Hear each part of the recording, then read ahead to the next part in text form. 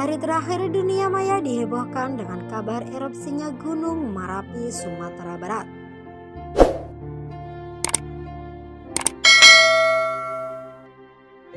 Pencarian dan evakuasi 75 korban erupsi Gunung Marapi telah ditutup.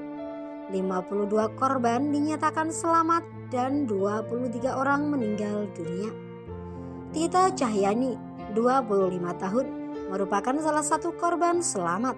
Ia pun menceritakan situasi mencekam pada saat erupsi gunung berlangsung di Gunung Marapi. Pengalaman pertama kali ia mendaki bagi Muhammad Ridho Kurniawan 21 tahun menjadi pengalaman yang tak akan pernah bisa dilupakan.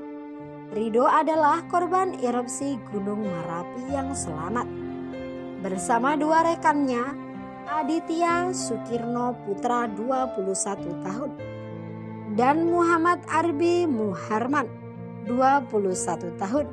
Ridho dirawat di Rumah Sakit Ahmad Muhtar Bukit Tinggi. Mereka bertiga dirawat di ruangan yang sama. Muhammad Ridho Kurniawan mengalami luka bakar di beberapa bagian tubuh yakni di kaki kiri bagian lutut dan telapak kaki. Rekannya Aditya Sukirno Putra juga mengalami luka bakar di bagian tubuhnya. Sementara Muhammad Arbi Muharman mengalami luka bakar dan patah tulang di beberapa bagian tubuh serta belum bisa diajak berkomunikasi. Ridho menceritakan bahwa pendakian ke Gunung Marapi Sumatera Barat merupakan pendakian pertama bagi mereka. Ridho mengatakan mereka bertiga mendaki bersama dengan empat orang teman lainnya dengan total jumlah tujuh orang. Dari tujuh orang, Rido mengungkapkan hanya satu orang yang sudah pernah mendaki. Sementara enam di antaranya baru pertama kali mendaki gunung.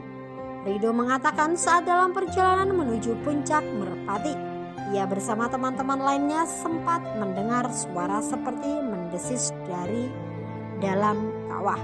Setelah itu kawah mengeluarkan asap tebal. Namun salah satu temannya yang sudah pernah mendaki mengatakan bahwa itu hal yang wajar dan biasa. Sehingga mereka melanjutkan perjalanannya ke puncak Gunung Marapi. Namun nahasnya di hari itu Gunung Marapi mengeluarkan erupsi dan mereka menjadi korbannya. Semoga korban yang selamat segera membaik dan semoga korban yang meninggal dunia mendapatkan tempat terindah di sisi Allah. Terima kasih telah menyaksikan video ini hingga akhir. Jangan lupa like, komen, dan subscribe.